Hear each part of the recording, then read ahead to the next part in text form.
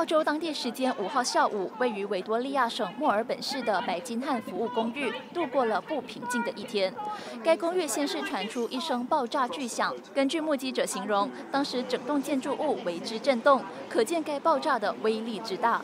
I got told that there was an explosion at around four o'clock, and uh, I hung, hung around for a while, and uh, I heard gunshots, about ten shots, and we got told that um, it was a hostage situation.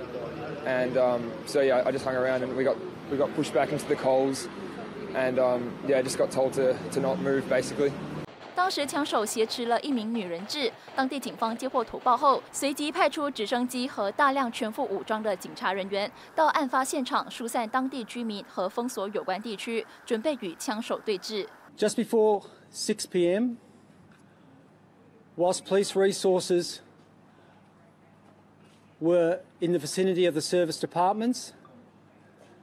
A male has exited one of the service departments and begin, began firing at police members.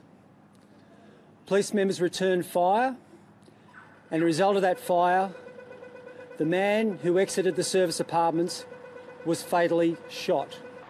枪手被击毙后，警方成功救出女人质，该人质也毫发无损。不过，在这起枪战中，其中三名警员受了伤，之后被送往医院治疗。警方也在公寓的前厅发现一名死于枪击的男子。根据澳洲媒体指出，女人质被挟持时曾经致电给当地电视台，指自己是布莱顿的人质。枪手也在电话中声称这是为了伊斯兰国组织。不过，当地警方还在确认这起袭击事件是否和军方活动或恐怖主义有关。NTV 七综合报道。